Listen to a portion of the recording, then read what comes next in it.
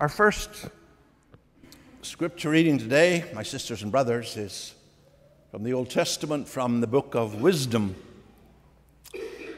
And this book was written by a Greek speaking Jew, uh, very probably in Alexandria, present day Egypt, in the first half of the first century BC. That he was a Jew is evident uh, he was loyal to the God of the fathers, we read in the ninth chapter. And he is proud to belong to the holy and blameless race, we read in chapter 10. And he quotes the Old Testament from the Greek translation, the Septuagint. He's well versed in the Greek language, knows quite a bit about Greek philosophy. And his book was written to commend wisdom, which comes from God, the source of all wisdom. And in wisdom, God created the world, and in wisdom, God rules the world. Wisdom is the basis of all virtue. It's the way to God and the way to the future life. This present life is but the preparation for the life to come, in which the virtuous live with God, and the wicked are punished.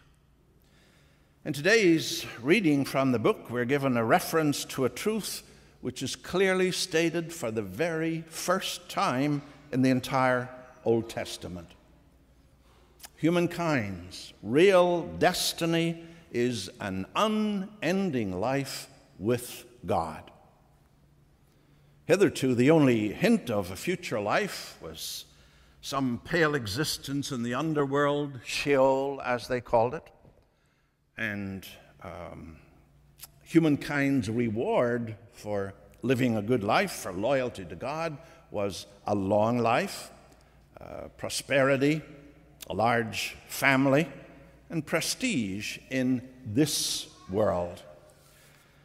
And of course, this didn't always work out as people wanted it to. Many questions were raised. Wisdom was the first and only book to express categorically and clearly humankind's real purpose in life, namely to reach eternal life with God after death. Our gospel today gives us two further proofs of divine power and the infinite mercy of our Savior.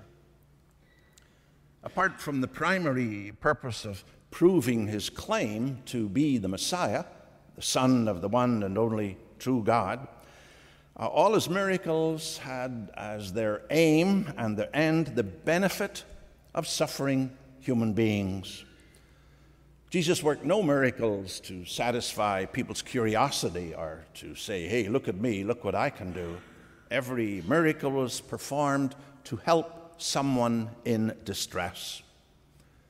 And all who were helped by his miracles had one thing in common they were motivated by trust in his mercy and in his power.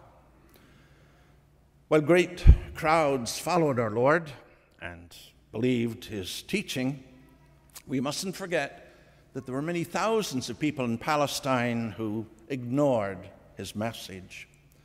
They had no time for this nonsense. They were too practical, too sensible to listen to rumors about messiahs. They had no interest, really, because silly spiritual things. They were fully occupied with their financial and their worldly interests. Has the world changed much in 2,000 years? How many millions of people today are spiritually sick, but they do not have the faith, the humility, and the confidence of Jairus in our gospel story today to cast themselves at the feet of Jesus and ask to be cured, to be healed?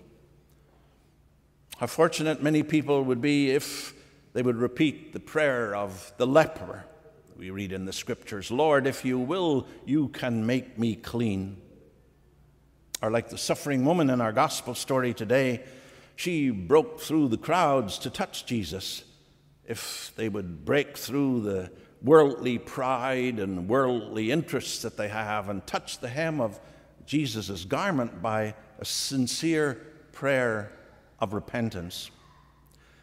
Today, my sisters and brothers, let us say a fervent prayer of thanksgiving to God for the gift of active faith which He has given us and beg of Him that we keep this faith ever alive in our hearts. And for your homework, uh, it would be good if families and individuals got your Bibles out this evening around the family table.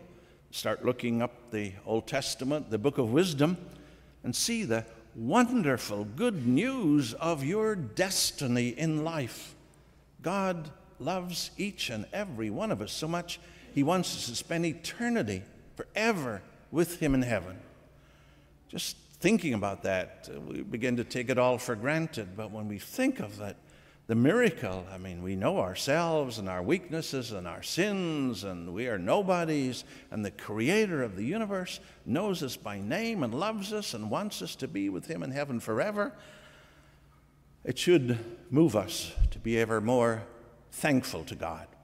And a little later, when we receive the Lord Himself in the Eucharist and Holy Communion, in the privacy of our hearts, let each and every one of us say thank you. Amen.